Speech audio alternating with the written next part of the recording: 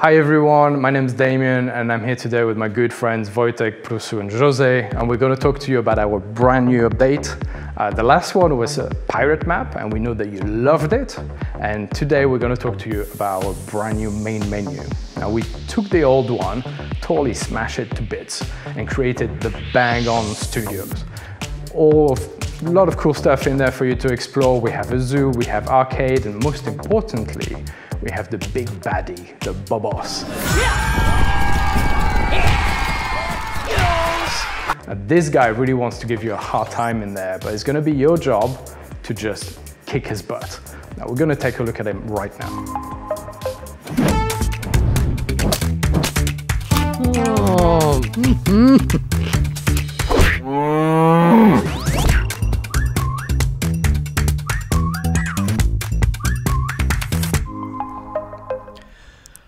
So the first thing you're going to see um, when you enter the game is a brand new intro sequence. Uh, in the intro sequence, we're introducing you as Bob, uh, a little fun, clumsy, and totally oblivious little ball who wakes up every day and goes to work at Bang On Studios as an intern. Um, now we wanted to do, we wanted to have a little fun with this intro, uh, so it, it, you know, every time you watch it, there's something new. So depending on the achievements in the game that you've had, is going to change. For example, if you unlock the octopus hat, it's going to be sitting on top of your TV.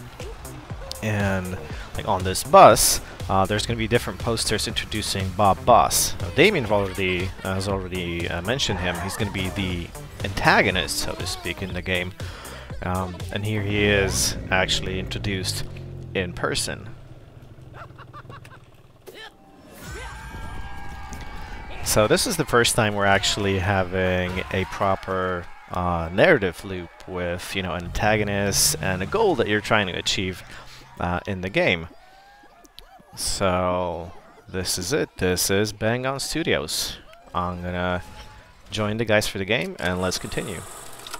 Hello everyone and welcome to Bang On Studios, located of course in Bobbywood.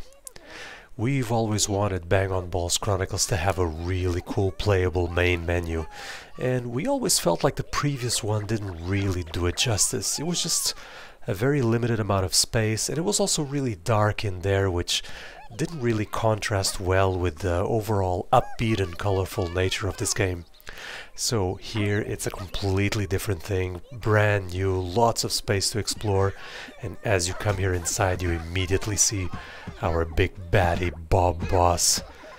Everybody seems to love him and want his autograph, but you work here, you know what's up, he's a mean old Bob, and we're gonna teach him a lesson or two. So as we come here inside the studio we see that there's lots of space.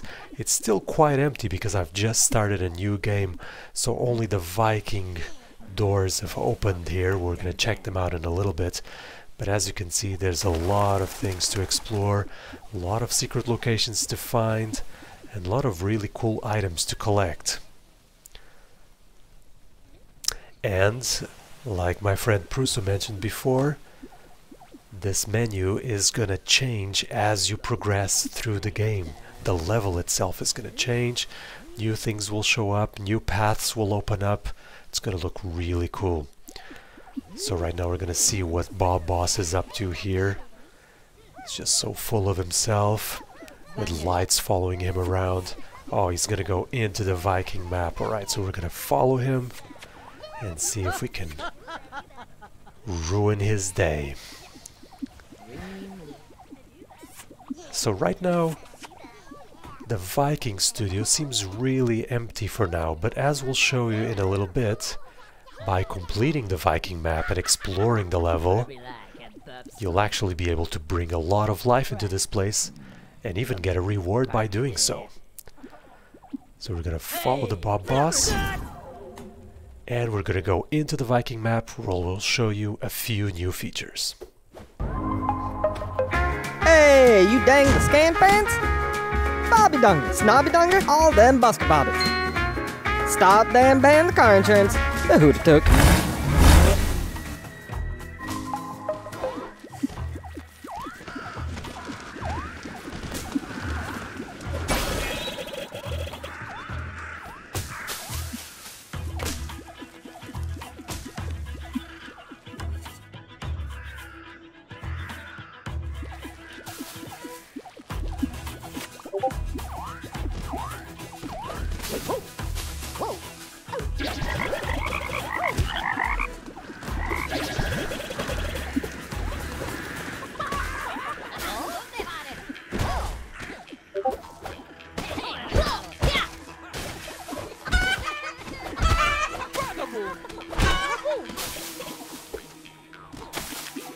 Come on.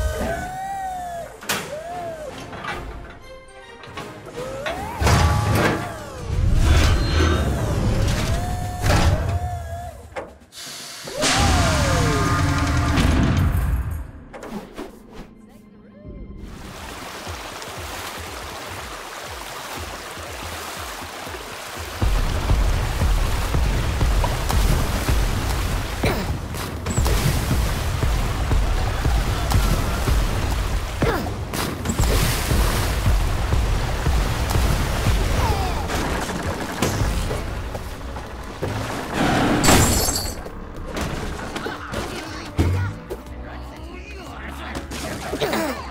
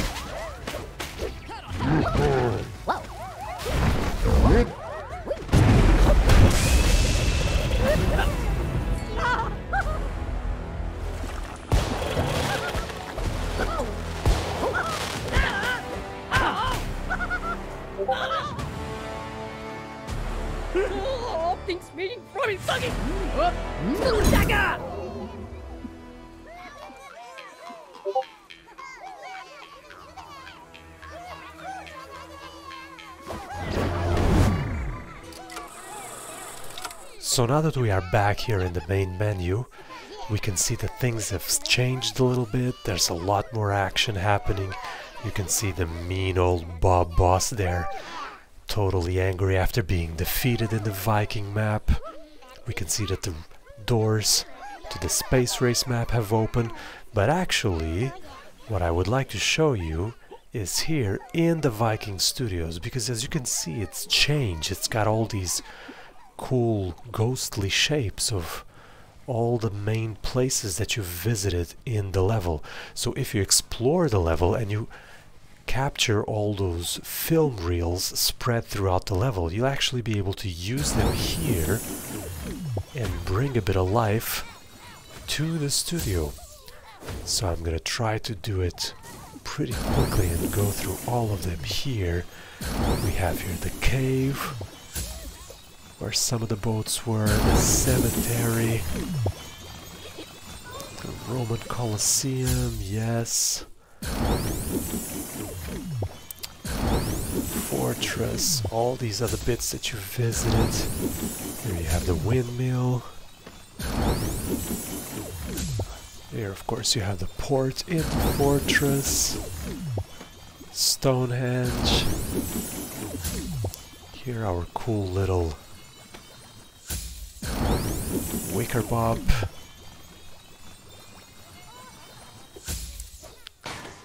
And what else we have here? Ah, still a few places more to go. Ah, yes, of course, we have the Merlin Tower and the monastery. And I think that is all of them. And now the studio is really colorful, full of life. And you got a little reward. You got a cool little hat of the defeated Bob Boss. And let's check out some other cool new features in this super cool new main menu. We've also updated the customization chair. Previously it allowed you to just change your flag and now there is a lot more to it. Let me show you. First of all, it looks way better now, it has a new model and great animations. Um, you can now apply a simple color if that's more your aesthetic. Um, you can still apply flags. You can get a tattoo, front, back, or both, if that's what you like. Also, tattoos are not limited to the pirate map anymore. We have placed new ones on all the maps for you to find and customize your ball even more.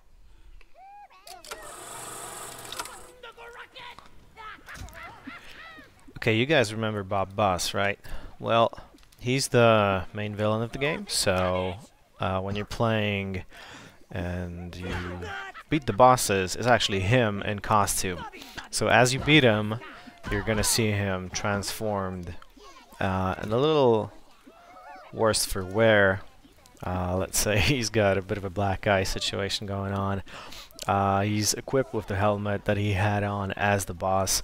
So as you progress through the game, as you complete levels and you beat him at the end of each level, he's gonna be uh, looking progressively worse. Um, so that's Bob Boss, but as you might have noticed, as we were passing uh, the main menu outside of the studio, the rest of the setup also changed. Now, previously we were on the Viking level and now uh, we see that uh, the scenery's changed the whole outline uh, the whole uh, layout of the of the of the menu has changed we see some familiar faces uh, from the Viking map like the witches uh, we see a lot of props being taken out and trashed and um, the entire main menu or the Bang On Picture Studio is being furnished to accommodate the current level. So uh, each time you finish one, there's going to be some cool new stuff. There's going to be a couple secrets that you might unlock. Uh, and as you progress to the game, these little AIs, these little balls, are going to change the way that they react to you. So in the beginning, they're only following Bob Boss. You see, they got these pictures. Uh, they got his you know, R graphs. Uh, so they're only interested in the big guy. But as you're playing and gaining some notoriety, they're going to start following you. They're going to start taking pictures, selfies, uh, blowing little kisses. So the AI setup uh, is going to reflect the fame that you as Bob have attained throughout uh, playing the game. Uh, so there's a lot of stuff going on around and really the entire thing changes with your progression through the game. One of the big additions in this update are the collectible pets. We already had some items that would spawn little AI follower, but it was fixed, so mm, Badger Hat would spawn little Badger, Roman Banner would spawn little Roman Soldier, and so on. And while it was cool, it was also kind of limiting on our customization capabilities, because some players may like the item but not necessarily the pet, or vice versa. So we decided to rebuild this feature and detach pets from items and let players choose their companions freely. Uh, we've also populated all the maps with collectible pets um, and they are these little golden animals that you can find and collect by dashing into them. And I believe there is one here, yeah, there's a little rabbit, so let's Let's try and catch it. No, don't run. Don't run. Okay, let's go. And the rabbit is now our pet. So once you catch it, you can select it in inventory. It's automatically selected because the it's the only pet that I have right now. As you can see, there is also another pet to be to be caught in this level. And the rabbit will now follow me around. And not only follow me around, but it will also react to stuff that I do. So, for example, if I whistle, it will perform a little trick. When, uh, when I change items, it will get excited for me. Uh, and also, my personal favorite, when I start rolling, it will start rolling with me, so we are both rolling, and it's awesome. So we're back here in the main menu. As you can see, things have changed a lot already. The menu has evolved quite a bit. We've completed a few levels. And I'm going to take this opportunity to show another super cool location that we have in this new main menu map. We really wanted to make a location like this, so we created an arcade of course, needless to say, you gotta buy a ticket to get in, and those are expensive. So we're gonna pay for it right now.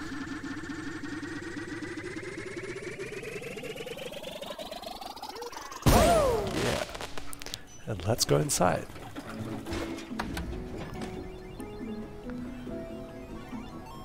So welcome to the arcade. It's a cool super cool new location that you can explore. And it's a place where you can play all our little challenge maps. Oh, I see that Bob Boss is here as well. I don't know what he's up to, but probably not any good. You have some cool bowling alley. Let me see if I can get a strike. Oh, nearly there. Close very close. Anyway, this is a very cool location that you can explore. Of course, you also have here our famous little gumball machine where you can input codes to retrieve all kinds of items. And this is also a location where you can access all of our existing challenge games that you can play by yourself or with friends. They are super good fun. This is just one of a couple of super cool new locations in the main menu map that you'll discover as you'll play. Cat grabs. Bam bam. Blunto. Also made significant changes to super mode because we felt that it's not super enough.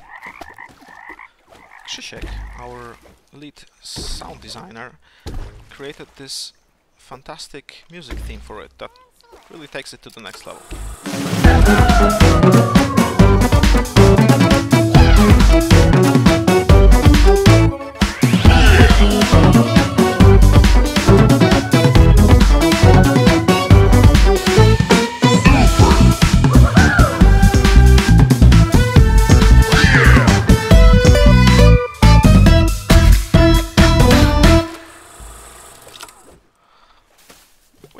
Quite happy with how players enter super mode because it used to be based on consuming enough health pips and in general not very clear.